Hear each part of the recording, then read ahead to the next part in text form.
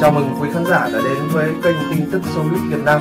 Kính chúc quý khán giả có những giây phút trải nghiệm thật tuyệt vời bên chúng tôi. Hoa Vinh chuẩn bị tái xuất sau scandal bội bạc với bạn gái.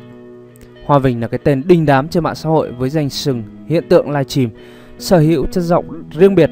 Anh từng gây ấn tượng mạnh với khán giả khi cover bài hát Ngắm hoa lệ rời, giúp các khúc này trở nên hot hơn bao giờ hết.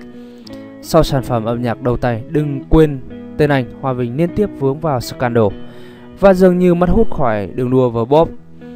Một hoạt động mới đây của Hoa Bình khiến fan nghi ngờ anh sẽ sớm trở lại. Hoa Bình rục rịch trở lại âm nhạc mới đây trên mạng xã hội quản lý của Minh Vương MU M4U đã chia sẻ bức ảnh chụp cùng Hoa Bình. Cụ thể hai người cùng nhau gặp mặt ăn uống và fan đoán rằng họ đang bàn về dự án âm nhạc mới. Thông qua dòng trạng thái, người quản lý này viết họp đồng niên. Nhìn thấy hình ảnh mới này của hiện tượng livestream, người hâm mộ không khỏi háo hức, tin rằng anh sẽ sớm trở lại với một sản phẩm âm nhạc chất lượng. Quyết định đến sân ca hát chuyên nghiệp Hòa Vinh cho ra mắt các MV đừng quên tên anh. Em về đi em, dừng lại đây thôi. Xong chỉ mỗi đừng quên tên anh là tạo được hiệu ứng mạnh mẽ. Người hâm mộ đang chờ đợi một sản phẩm âm nhạc chất lượng hơn từ Hoa Vinh. Scandal tình ái của Hoa Vinh. Ra mắt MV đầu tay, đừng quên tên anh Hoa Vinh được khán giả đánh giá. Sẽ làm lên chuyện trong giới và bóp đáng tiếc nô xùm về tình ái. Cuộc sống cá nhân của anh liên tiếp diễn ra, khiến ai cũng đấy cũng ngán ngẩm. Cụ thể, từng có một tài khoản mạng xã hội đăng đàn tố Hoa Vinh qua đêm.